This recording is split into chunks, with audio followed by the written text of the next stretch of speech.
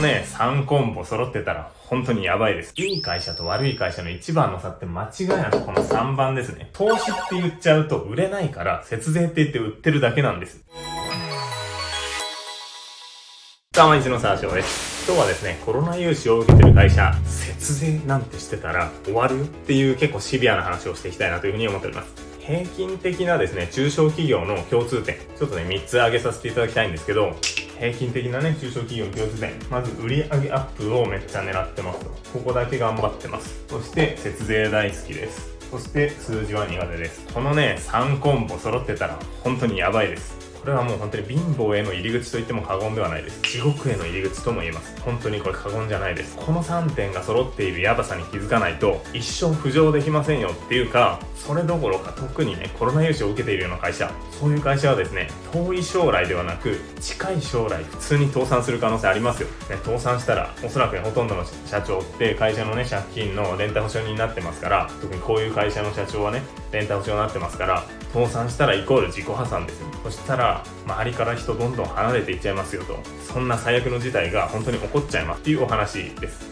最近ね、本当に毎日のように YouTube 経由でご相談いただくんですね。で、そういうご相談いただいた会社の経営者の方からね、決算書を送ってもらったりして、財務診断なんかをしてるわけです、日々。そうするとね、相当やばい状態の会社が多い、本当に増えてるんですね。もう借金で成り立っているだけというような状態の会社って本当に多いんです。銀行からの新規融資が止まったらすぐ倒産だよっていう状態。まあこれプロが見ればすぐわかるわけです。プロじゃなくても数字が読める人ならすぐわかるわけです。なのに、これもね、まあ共通点としてあるんですけれども、なんかあんまり危機感が感じられないんですよね。皆さんどうにかなると思われてるんですよね。銀行が助けてくれる。誰か助けてくれる。そんなのも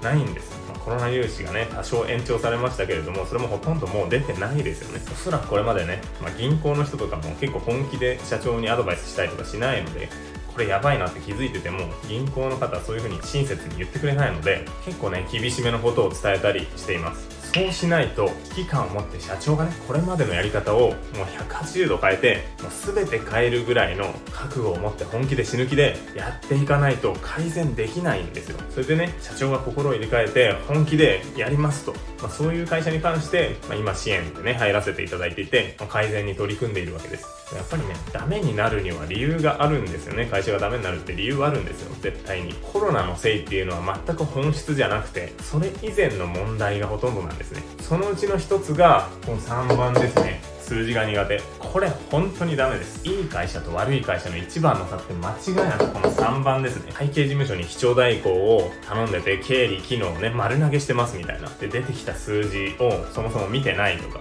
れも論外すぎるんですよね。会計事務所はただただ処理をするっていうところまでしかやってくれないところが多い。経営改善しようっていうところはもちろんありますけど基調代行を請け負うような会社はメインは事務処理なので、まあ、会社を立て直そうというところまで手が回らないんですよ。なので誰もちゃんと数字を見ていないっていう状態になってるんですね。でまあそういうところからね切り替えてるうちに例えば来ていただいて中身見たらめちゃくちゃじゃないかみたいなこととかあとは税務署のね税務調査入って実はデタラメな会計処理されちゃってました。会計事務所プロに頼んでたのに何なんだ？って言ってねすごい社長ぶち切れてたりする会社があるわけなんですけどこれはまあ、もちろん会計事務所の問題もあるかもしれないですけど社長にも問題ありますよという話なんですね。やっぱり最低限の数字は見ないとダメなんですよ。だって社長が数字を全く把握しない状態でどうやって会社改善するんですか？数字を見ずに改善ってできるんですか？できるわけないですよね。数字を見ずに改善していく会社をいい状態にしていくって無理ゲーすぎるんですよ。って言ってる意味理解できますよね。でもなぜほとんどの会社がやらないのか。ねそのままいったら普通に死にますよっていう話なんですけどやらないんですこのチャンネル見ていただいている方は比較的勉強熱心な方が多いので、やられてる方多いかもしれないですけど、本当にですね、数字見てない会社多いんですよね。見てますって言って決算書をただなんとなく眺めてるだけじゃ見てないのと一緒ですからね。ちゃんと改善する、どこをどうやって手打って改善していくかってそういうレベルまで落とし込んでいかなきゃダメなんです。アクションプランに落とし込まなきゃ意味ないんですよ。そういったこともあって、この3番ですね、数字苦手とかって言っている経営者の方に分かりやすくね、まあ、誰でも分かるように経営に必要な数字を勉強会で教えたりしています。まあ、動画の最後にねそ、の話も案内しようかなと思いますので、ぜひね、最後まで見ていただければなと思います。本当にね、数字苦手っていうのは苦手なんじゃなくてやってないだけです、間違いなく。実際出てくる数字の計算なんて、足し算、引き算、掛け算、割り算ぐらいが分かればいい。小学校の算数が分かって、プラスそれを電卓使ってできればいいですよっていうぐらいの話なので全然難しい計算なんて必要ない、まあ、専門用語は多少出てきますけれどもそれは慣れなので毎月やってたら誰でも慣れます。そもそもね皆さんの業界いろんな業界の方いらっしゃると思いますけどその業界特有のね専門用語っていろいろあると思います。それ私からしたらめっちゃ難しいです。わけわかんないです。っていう話なんですけど皆さんは日々それ使ってるから慣れてますよね。っていうのと一緒です。会計もそうです。誰でもできます。なのでねぜひそういうの興味ある方は会社を良くしたいという方はね勉強会来ていただければと思います。でこの3っていう前提があった上で1売上とにかく伸ばしたい。これはですねほんとまずいです。売上アップばっかりしてると基本的にお金はなくなると思ってください。意味わからないんですかね。これ数字を見れるようになれば分かります。まあもちろん業種にもあります。こういうこと言うと、いや、俺の業界は関係ないとかっていう方が、まあ、例外を指摘してくる方ね、必ずいらっしゃるんですけど、例えば、コーチとかコンサルとかセミナー業とか、原価が一切かからないような職種ですね。売上イコール利益みたいな、そういう業種は別です。売上が増えればそれだけ残るお金も増えていきます。なんですけど、そうじゃなくて、物が動くような業種ですね。原価が発生するような業種。こういう業種は、売上より先に仕入れなんかの出ていくものが発生するので、急拡大すると絶対足りなくなるんですお金が。ちゃんと管理しないで急拡大って無理なんですよ。だから建設業とか製造業とか運送業とかね、物がちゃんと絡む。先にお金が出ていく。そういう業種の場合には絶対数字見なきゃダメなんです。でこの売上アップそして節税これも皆さんね好きな会社経営者さん多いですよね。でもこの丸2に関しては数字分かってる人はまずやらないんですよ。もちろんねやらないっていうのは無駄な税金を払ってるってことではないです必要なことはやります。税制上の優遇制度を使うとかねそういうことは当然やりますよ。でも税金を減らしてお金が増えますっていうものってほぼないんです。そんな裏技みたいなのはないんですよ。なのでここはそもそも意識する必要がないところですやらない方が得だと思っておいてください。例えばねもう無借金状態になって自己承認率めっちゃ増えました。お金にめちゃくちゃ余裕ありますっていう状態であれば使えるものあるかもしれないです。お金がないのに節税してたら絶対にお金増えないんですよ。で結構ね巷で行われている情弱向けの節税セミナーみたいなとこあるんですよね、まあ、あとは節税コンサルなる怪しい人物もたくさんいます。ネットで検索すると出てくるんですけど数字が読めてたら絶対こんなものに騙されないんですよ。そういったところで進めてくるものって、まあ、例えばね合法的なもので言うと、まあ、こんな感じですよね。合法的なものだと保険とかドローンレンタルアストラレンタル太陽光これなどいろ不動産まあここのねドローンレンタル足場レンタルは今後ね法律的にできなくなっていくと思いますけど、まあ、せいぜいこんなところですよね。これをもっともらしく得しますせっていう感じで説明して進めてくると思います。彼らがなんでこれを進めたいのかっていうことを考える必要があるわけです、まあ、これいうものをね導入してコンサル料を取る場合もありますしこれ紹介するとそれで手数料入るんです。私も実はこれ紹介できるんですよ。紹介すれば手数料もらえるわけです。なので損してもいいから資金繰り悪くなってもいいからやりたいんだっていう人いれば全然紹介します。私手数料入るのでそれはね皆さんがやりたいというのであればおすすめはしないですけどやってくださいっていう話なんで紹介しますけどでもねお金がない中小企業の経営者が税金払いたくないかってこれらをやるっていうのは本当にね間違いでしかないんですよ。ねすごい奥義だみたいな感じで紹介してくると思いますけどこんな案件誰でも紹介できる。何もすごくないんですよ。まあでもこれはまだ合法的なもので節税コンサルのね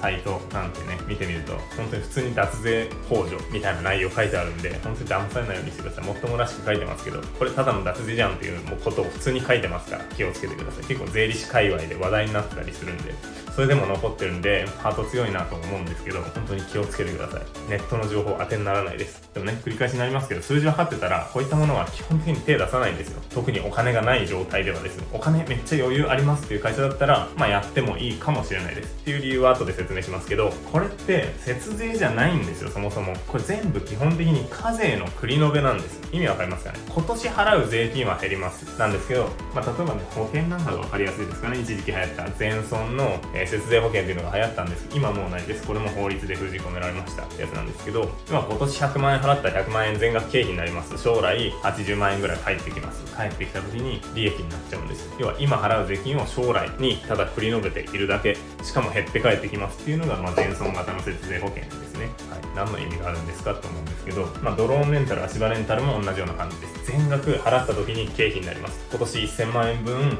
足場を買ってそれをレンタルに出して、まあ、レンタル料っていうのをもらって回収していくわけなんですけど払った時に全額経費になるんですね。1000万円分買ったら1000万円経費になるので、まあ、例えば税率30%とすると300万円税金を減らせますと。でも1000万キャッシュアウトしてますからね。資金繰りはその分悪くなりますよ。でこれを5年とか7年かけて回収していくんです。でここら辺はですね多少増えて帰ってくるんです。よ105%にして戻しますとか107%にして戻しますとかそんなイメージ。ね、まあ、こういった太陽光とかコインランドリーとか不動産もそうですね。これも要は投資して太陽光なんかそうですかね。特別償却っていう形で買った年にね全額原価償却費として即時償却できますとかそういうことをやるわけです。コインランドリーなんかも即時償却でこれ80%とかですかね、まあ、ちょっとそこら辺詳しく話しても仕方ないのであれなんですけど、まあ、一気に経費を作れてで将来回収していくっていう回収してきた時どっちにしろ利益になりますからね。だから節税じゃないんです。今年の税金の額をただ減らすだけ将来に回してるだけ。そういうイメージで考えてください。なのでまあね今話してるんで節税保険は論外なんですけどこ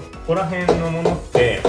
全部事業投資なんですよ。節税じゃないんです。投資って言っちゃうと売れないから節税って言って売ってるだけなんです。でこれ紹介した人は手数料もらえるだけなので絶対損しないですしまあ自分でねこういう商品取り扱ってる場合もあります。これを売ることによって儲かってで買った人も多少の利回りが得られる。そんなイメージですね。でも5年で105%返ってくるとかやる意味ありますかねっていう話ですね。だったらインデックスファンドでも買っといた方がよっぽど良くないですか？投資信託買っといた方が良くないですか？っていう話だと私は思います。会社でやることじゃないです。だから最初に言ったようにお金が有り余ってっててもう回すとこないっていうんだったらいいかもしれないですっていうのはそれです。お金がない会社がやることではないです。なのでお金がない節税大好きっていう会社はこういうことやってると一生貧乏ですよっていうのはこのためなんですね。さっきも言った通りこういったものって最初にお金は出ていきますから資金繰り劇的に悪化するんです。いや借金でやってるから手元のキャッシュ減らないよっていう場合もあるかもしれないですけどその借金の利息やら借金するための手数料やら払ってどれだけ利益得られるんですかっていう話なんですよね。で、しかもこういったものね、投資に失敗したりしたら減る可能性ありますよっていう話ですよね。いや、これ売ってくれる会社がこれだけの利回り保証してくれてるんですって言ったって、その会社が倒産したからどうするんですかっていう話ですよね。まあ、例えばね、まあ、太陽光はある程度安定してるかもしれないです。コインランドリーとかも完全に事業ですからね。で、その会社が完全にもう運営とかも全部任せられるんですってなった場合、まあ、結局その会社の取り分ってその分ね、運営とかもしてる部分多くなるわけですね。売る会社儲かるわけです。で、こういうものをね、節税のために使っちゃって、手元のキャッシュなくなりますって言って、事業回んないからって言って追加で借金したりして、また余計な利息払って手数料払ってってやってたらどうですかね。仮に105%、表面で105%戻ってきたとしても、実質損してるかもしれないですよっていう話です。で、税金面ではさっきも言った通り、将来に引き伸ばしてるだけなので、全く得しないんですよ。ね、そういうこと考えたらますます損じゃないかなと。だったら手元にキャッシュ置いといた方がいいんじゃないのっていう話です。こういうことをやって、毎年税金どうにかゼロにしたいってやってると、20年経っても30年経っても資金繰りに苦しみ続ける。そういう運命をたどることになります。これを20年後に気づくのか今気づいてやめるのかで、まあ、将来の20年後は大きく変わりますよね。これさっきも言った通り節税じゃなくて投資なので投資ってリスクとリターンがあるわけですよね。ハイリスクなのかローリスクなのかハイリターンなのかローリターンなのかっていう話ですね、まあ、当然ハイリスクの場合ハイリターン狙えますしローリスクの場合はローリターンしか狙えない。それは当たり前の話なんですけど、まあ、比較的ローリスク。でローリターンっていうものですよね。でちょっとねこの投資っていうことで考えていただきたいんですけど投資の中で一番リスク高いものって何だと思います？私は事業投資だと思うんですよ。経営者って最もリスクの高い事業投資をやってるんですよ。ハイリターンを狙ってるんですよ。なのにこんなリスクの低いものにお金使って投資してどうするんですかっていう話なんですね。投資をするのであれば自分の事業に投資した方がよっぽどリターン大きいはずでしょっていう話ですこっちに投資した方がいいよねって思うのであればそのね今やっている事業自体ビジネスモデル自体を変えるっていうことを考える必要があるかもしれないっていうことです。はい、ということでね今日まあこういういろいろ話してきましたけどそういう正しい経営判断ができる経営者になるための方法これね YouTube のこの動画の中では伝えきれないお話を数字をね全く見たことない数字苦手っていう方でも分かるように分かりやすく解説した特別スペシャル動画をですね LINE の登録者限定でなんと3本3本もプレゼントさせていただきますということでね動画概要欄の方に公式 LINE 記載してありますのでぜひ登録してこのチャンスに動画ゲットしていただければなというふうに思います。ということで、本日は以上になります。このチャンネルがですねちょっとでも参考になった勉強になった応援してもいいよということであればチャンネル登録をして次回の動画をお楽しみにしていただけると嬉しいです。ということでありがとうございました。最後までご視聴いただきありがとうございます。えー、この動画が少しでもいいねと思った方はチャンネル登録とグッドボタンよろしくお願いします。また動画概要欄から LINE アットの登録もよろしくお願いします。では次回の動画お楽しみに。